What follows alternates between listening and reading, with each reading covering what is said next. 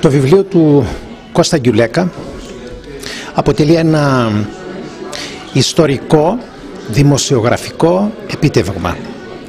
Θα μπορούσε να είναι ένα εξαιρετικό εγχειρίδιο να υπάρχει σε κάθε σπίτι γιατί οι πληροφορίες και τα καταπιστεύματα αυτά, τα έντυπα της συγκεκριμένης περίοδου εκτιμώ ότι είναι άρτια και ιστορικά και δημοσιογραφικά και φιλολογικά.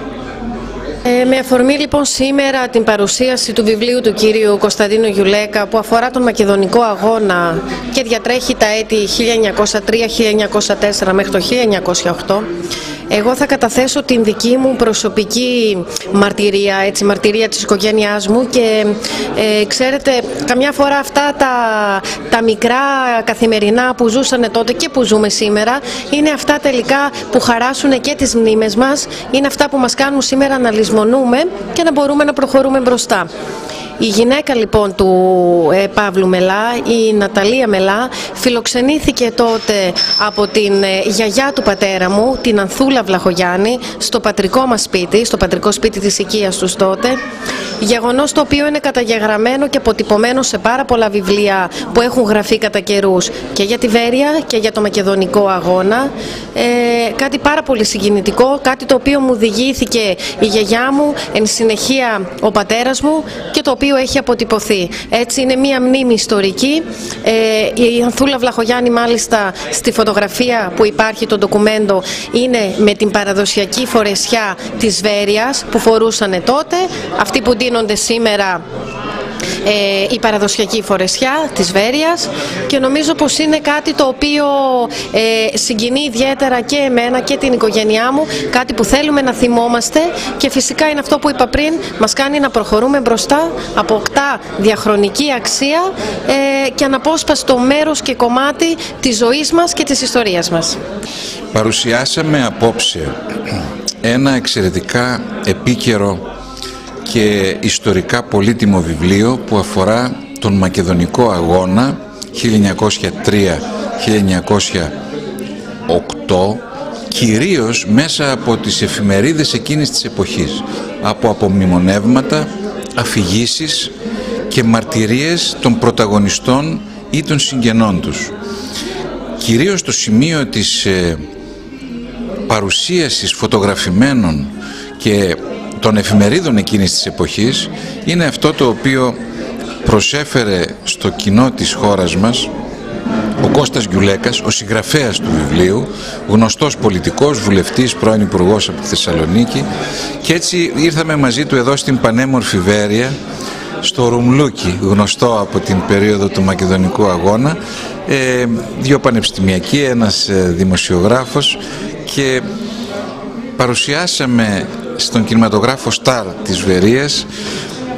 Σε αρκετούς ε, συμπολίτες εδώ ε, αυτό το βιβλίο και μαζί ζήσαμε ξανά το έπος αυτού του τεράστιου μακεδονικού αγώνα ο οποίος, ο οποίος προετοίμασε την απελευθέρωση ουσιαστικά και διατήρησε την ελληνικότητα των περιοχών της κεντρικής, δυτικής και ανατολικής Μακεδονίας ώστε στη συνέχεια με τους δύο Βαλκανικούς πολέμους να έχουμε την απελευθέρωση περιοχών που η ελληνική εγκατάσταση και οι ελληνικοί πληθυσμοί πηγαίνουν πολύ προ Χριστού. Ήταν μια εξαιρετική εκδήλωση και είναι ένα βιβλίο το οποίο αξίζει να βρεθεί σε κάθε ελληνικό σπίτι, σε κάθε ελληνική βιβλιοθήκη, σε όλη την εκπαίδευση και να μάθουμε αυτό το έπος και να τιμήσουμε τις εκατοντάδες ηρώων αυτού του αγώνα και τις πολλούς νεκρούς που είχε μέσα σε έναν ιδιότυπο ανταρτοπόλεμο που κράτησε τη Μακεδονία μέχρι να έρθει το νέο ελληνικό κράτος και να μπορέσει να απελευθερώσει τις, αυτές, τις ε, περιοχές αυτές τόσο από τον τουρκικό ζυγό όσο και από την επιβουλή των ε, βούλγαρων κομιτατζίδων και νομίζω ότι η ιστορία μας είναι τόσο μεγάλη που δεν προλαβαίνουν τα παιδιά μας να διδαχθούν τόσο σημαντικά κομμάτια όπως ο Μακεδονικός Αγώνας. Άρα το μήνυμα είναι να αποκτήσουμε εθνική αυτογνωσία σε αυτήν την τόσο πλούσια εθνική πορεία του ελληνισμού και ταυτόχρονα για να έρθουμε και στην επικαιρότητα να πούμε ένα ξεκάθαρο όχι σε αυτούς που σήμερα διεκδικούν το όνομα της Μακεδονίας, τον πολιτισμό της, την ιστορία της, αλλά και το αύριο της Μακεδονίας, μέσα από την χρήση όρων που δεν τους ανήκουν και δεν αντιπροσωπεύουν την ιστορία τους, τη γλώσσα τους, τη φυσιογνωμία τους, την ταυτότητά τους. Αν δεν το κάνουμε, αυτό το αίμα των ηρώων, αυτοί οι ατελείωτοι αγώνες, αυτές οι προσωπικές περιπτώσεις που θυσιάστηκαν για το μέλλον το παρόν το δικό μας και το μέλλον των παιδιών μας θα πάνε χαμένες. Να πω ότι μόνο στο Κιλκής, στους Βαλκανικούς πολέμους και στον Πρώτο Παγκόσμιο είχαμε νεκρούς που ξεπερνούν τις 8.000 στην ομώνυμη μάχη. Δεν μπορούμε αυτό να το ξεχάσουμε. Αυτό που βιώνουμε σήμερα είναι χάρη στο αίμα και στη θυσία εκείνων των ανθρώπων, των αγωνιστών και των ηρώων.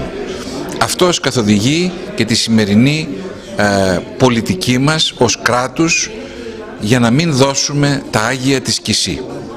Για μένα είναι μεγάλη χαρά και τιμή το ότι βρίσκομαι στην, ε, στο Ρωμλούκι, βρίσκομαι στη Βέρεια, σε έναν τόπο που γράφηκαν τα γεγονότα του Μακεδονικού Αγώνα. Είναι πολύ σημαντικό όταν μιλάς για εκείνη την εποχή να είσαι ε, σε αυτούς τους ε, χώρους που βάθηκαν με πολύ αίμα, που χαρακτηρίστηκαν από τις θυσίες εκείνων των ωραίων Ελλήνων μιας άλλης εποχής. Ένα βιβλίο λοιπόν για το Μακεδονικό Αγώνα από έναν άνθρωπο που δεν είναι ιστορικός. Εγώ είμαι δικηγόρος και δημοσιογράφος. Πολιτεύομαι, αλλά δεν είμαι ιστορικός. Ένα βιβλίο όμως το οποίο αναφέρεται στο Μακεδονικό Αγώνα μέσα από τις πηγές του. Αναφέρεται λοιπόν στο Μακεδονικό Αγώνα μέσα από τις εφημερίδες της εποχής του Μακεδονικού Αγώνα όπως ακριβώς εκείνες περιέγραφαν τα γεγονότα εκείνης της εποχής. Αυτή είναι η βάση του βιβλίου και αυτό ακριβώς θέλησα να δώσω. Να δώσω τον αγώνα μέσα από ένα άλλο πρίσμα, μέσα από άλλη, μια, μια άλλη ματιά, όπως δεν είχε παρουσιαστεί ως τώρα. Αυτό τον επικό αγώνα για τη Μακεδονία, τόσο γιατί ε, ως δημοσιογράφος ήθελα να αποτίσω ένα φόρο τιμής στους δημοσιογράφους εκείνης εποχής που με τελείως διαφορετικές συνθήκες, πολύ αντίξωες συνθήκες και με κίνδυνο της ζωής τους πολλές φορές μετέδιδαν αυτά τα οποία μετέδωσαν και για τον αγώνα και γενικότερα και από την άλλη γιατί και εγώ ανήκοντας σε μια γενιά ε, που ακούσαμε και προλάβαμε κάποιες μαρτυρίες κάποιων υπέργυρων οι οποίοι ήταν σύγχρονοι της εποχής εκείνης είχαμε την χαρά να πληροφορηθούμε από πρώτο χέρι το τι συνέβη από αυτοίκοες και από αυτόπτες μάρτυρες το τι συνέβη σε εκείνα τα χρόνια. Τέλος, επειδή και η οικογένειά μου είναι μία από τις χιλιάδες οικογένειες των Μακεδόνων που μετήγαν στον αγώνα, ο πάπους μου ήταν Μακεδονομάχος, θεωρούσα χρέος τιμής να κάνω κάτι για εκείνη την εποχή. Θεωρώ ότι αυτό το βιβλίο μπορεί να φωτίσει τον αγώνα μέσα από μια άλλη ματιά όπως σας είπα και πιστεύω ότι ελπίζω μάλλον να είναι χρήσιμο σε κάποιον που θέλει είτε να μελετήσει και να μάθει τι συνέβη τότε είτε να ερευνήσει ιδιαίτερα εκείνη την περίοδο. Ευχαριστώ πάρα πολύ. Να είσαι καλά. Ευχαριστώ εγώ.